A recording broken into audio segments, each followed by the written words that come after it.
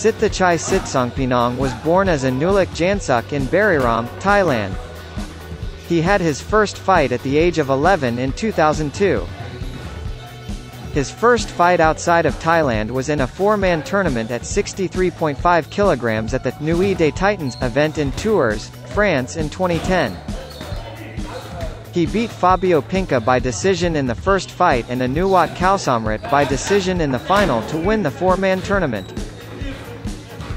His second fight outside of Thailand was at the La Nuit des Champions event in Marseille, France on 28 November 2010. He won against Damian Alamos by decision over five rounds. He lost in the final of the Fuxian Group 8-man tournament 8-man at 146 pounds against Ikwazeng Kor.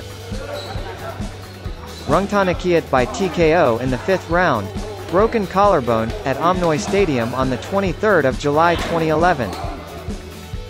He won the La Nuit des Champions four-man tournament, under K1 rules, event in Marseille, France by defeating Abdella Ezebiri in the final by TKO in the second round on November 22, 2011.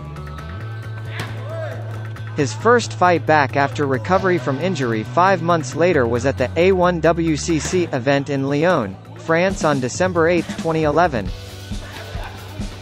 where he beat Fares Bachar by TKO in the fourth round.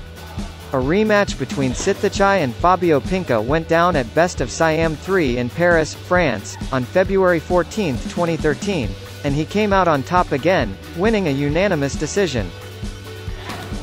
He won the Toyota Vigo 8-man tournament, at 70 kg against Dashreed Popthiratham by decision after three rounds in Udon on March 29, 2013. It was reported that he would fight Kamel Jemal at the WBC World Muay Thai Millennium Championship in San